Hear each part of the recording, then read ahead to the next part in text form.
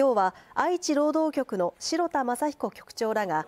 名古屋市中区のビルの建設工事現場を訪れどのような熱中症対策をしているのか確認しました。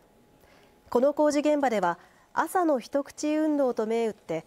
現場に入る前にスポーツドリンクを飲むことを習慣づけていることや休憩所でかき氷を食べられるように対策をしていました。白田局長は建設現場では作業服の上に保護具を装着するので熱中症を重篤化させない対策を取ってほしいと話していました。愛知労働局は今月中におよそ1000の事業所でパトロールを実施する予定です。